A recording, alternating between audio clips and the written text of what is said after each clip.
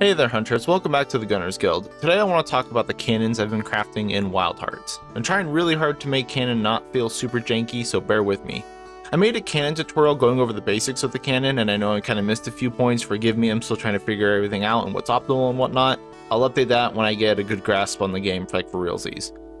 In that same kind of realm, these cannons I've been using are probably by no means optimal, it's just what I've got cooking right now, and I just want to show you guys all and how the crafting kind of works. So the first cannon here is the Golden Tempest cannon. I'm using this as an extreme heat build that is focused around generating as much heat as possible to be able to use the laser as much as possible.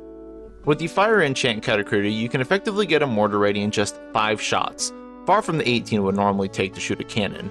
The way we build this on the tree is rather convoluted as you can see. I started out by finding out what base I wanted to end up on, which is the Golden Tempest because it has an innate 30% high spirit, which is insane. High Spirit reduces the amount of heat you actually need to get red and flaming, which works really well with our speed heat skills, which also increase your heat generated, so you're kind of tackling it from both ends. Now from that base, I know I wanted all the speed heat nodes I could get, which was just two unfortunately. So I was backtracking over here to the Wolf's Cannon that has speed heat, which we needed to pass through. And then from here, one of the last boss's guns also has speed heat. But in order to go there, we kind of have to go around this frost husk tree because for whatever reason, that cannon only has 4 inheritable skills instead of 5. So we couldn't take all the skills we wanted to go through there. So we end up coming back around down here and then going to the right and grabbing the other speed heat skill.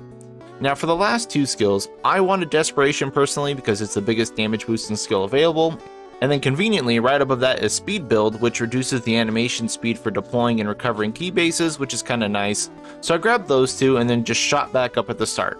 And that's kind of how I pathed it out. Obviously, you have to go from the top down when you're crafting, but always figure out where you want to end up first. This is a good showcase for how the skill inheritance system works and how you need to build the weapons on the tree. With this cannon, I generate heat super fast, and I can use the laser extremely often, Granted, this is a better cannon suited for group play as you really don't have too much time to spam laser on your own and especially in the volatile hunts, which I came to realize. That being said, you can also use the heat to do jump attacks, which scales off of height and if you're in the burning heat or not. I mentioned in my guide video that we don't really want to use the jump attack, but I also am trying to step away from the laser, and this is the only other way we can dump our heat fast enough, so give it a try.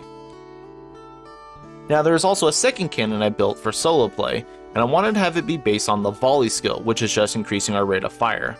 So this one here has a 50% increased rate of fire, and man, this thing dakas. Now the reason for this is that in solo play against especially the post-game monsters, there's very little room for actually using your laser, especially when I generate so much dang heat with the Tiger Cannon. I was often just wasting it, or I'd be waiting around for an opening, or, you know, shooting, trying to get a part break off to make an opening, and I don't know, like, it just didn't really work out. I just kept getting knocked out of it and stuff. So instead, I went with an increased fire rate cannon so I can get some decent pew pewing while I was generating my heat and waiting for my laser openings. So again, when I'm forging this, I started at the end cannon I wanted to use, and this one is going to be the Peacock cannon.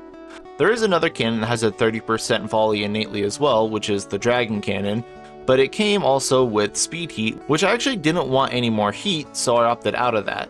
Plus, this one has 5% more crit, so that's a little something else. Anyway, with this I needed two other volley skills, and I had to run all the way back and around to get this cannon from the dragon, and then come back over here for Desperation, because again, I like that, you don't have to.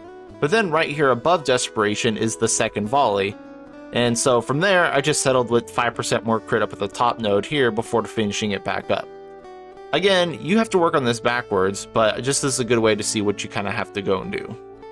Now you can use this for jump attacks as well to discharge the heat if you don't want to use the laser, but for solo play I actually prefer to use this for shooting, charge a laser when I can, and then just wait for whatever opening to occur when I want to use the laser, because you can just hold on to the laser as much as you want.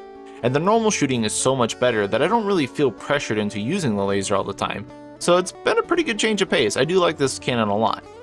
And I think the next time I want to work on a crit cannon, and then I'll kind of dive into elemental stuff. Uh, but yeah, that's basically all for me. Thank you all for watching. Thank you to my Patreon members. Appreciate you a ton. If anyone wants to talk shop about games or anything like that, feel free to join the Discord in the description below. And I'll see you guys uh, next time. So good luck out there, hunters.